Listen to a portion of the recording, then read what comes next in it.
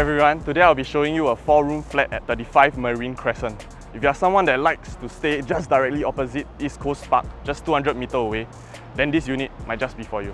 Come, let's go. Everyone, welcome to the unit. Let's go. As we enter to the living room, we realize that this is actually a very squarish layout. This is actually good as it makes the living room actually appear bigger. Uh, the owner has actually placed the sofa over here with the dining table and directly opposite is actually the TV console. So the door is actually southwest facing and it's actually a corner corridor unit. However, um, your corridor is actually pretty private uh, as towards the same facing there is actually two lifts with only four units. So actually uh, the corridor is actually quite private for your own usage and which I'll show you more later. Come, but for now let's go take a look at the unit. Come let me show you now for the master bedrooms. So as we head over here, uh, in terms of the size wise, you can actually fit a king size bed over here and as you can see this space, you can still actually put uh, a study desk over this area. Uh, the aircon is actually pretty new, the owners just did up all the aircons this year and your wardrobe will be around this area. Come, now let's head over to the next room. So currently owner actually put a single size bed over here, but you can easily fit a queen size over here and the wardrobe area is as here as well. So as for here, you can actually put like a study table or your work desk if you are working from home as well. So this is another room uh, where you can use it as a bedroom. But what I recommend is you can actually use this like a study table or work desk if you are currently working from home. So this is the kitchen with the toilet uh, right beside it. Yes, actually natural lighting and actually natural wind over here. Okay, let's go to East Coast Park now and I'll share you more about the amenities around the area. But before that, take a look at the corridor which I just mentioned just now.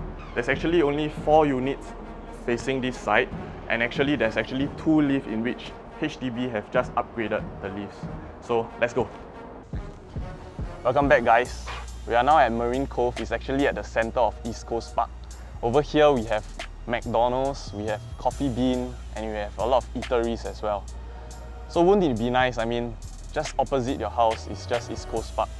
I mean, you can just take a stroll with your loved ones, you can have a picnic, you can rent a bike, or you can even rollerblade, or if you have kids, you can bring them over here, let them play with the playground, or maybe you just want some like quiet time and just enjoy the breeze or the seas.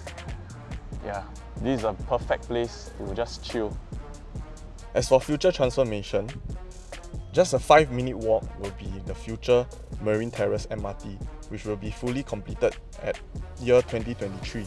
It will actually be the Thomson East line, where it will connect you from your current area all the way to Marina Bay area, to town area as well, and then to Thomson, and then eventually to Woodlands.